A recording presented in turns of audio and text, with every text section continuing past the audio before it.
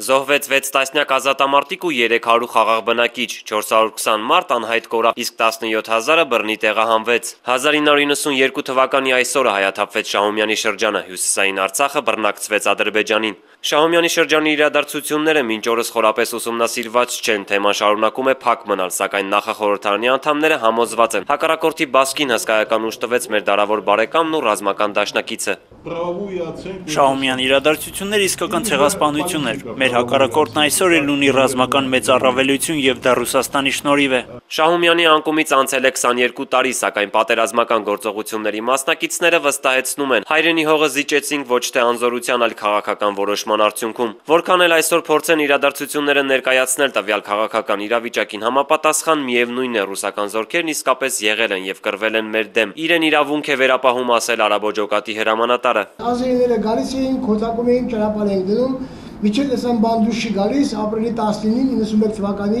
ռուսական բանակը տեխնիկայով հարձակվեց Մարտնաշենի վրա։ Ամեն ինչ կրկնվում է, ինչպես Արցախյան պատերազմի տարիներին, այնպես էլ հիմա Ռուսաստանը շարունակում է կործանիչ ռազմատեխնիկա վաճառել հակառակորդին, ասում է նախախորհրդարանի անդամ Տիգրան Խզմալյանը։ Կրեմլը կրկին աջակցում է Բաքվին եւ մեր տղաները կրկին զոհվում են,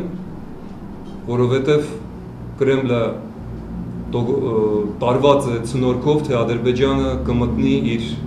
մաքսային Եվրասիական միության մեջ։ Շահումյանի իրադարձությունները պետք է մեզ համար լավ դաս լինեն։ Մեր ամենալավ բարեկամը մենք ենք։ 1200 կամավորներով ջախջախել ենք ադրբեջանական 8000-անոց զորքին, հիշեցնում է Մանվել Եղիազարյանը։ Մենք հայերով ենք մի բան լավ գիտակցենք, որ ոչ մի տերությանը, գերտերությանը, ոչ մի զորքի մենք իրավունք չունենք հավատալու։ Մեզ անդադ դարեր շարունակ խափել են, սա օգնելի է, այս հոդվածով է հարցը լուծվելու է։ Մենք միայն եւ միայն պետք է ապավինենք մեր ուժերին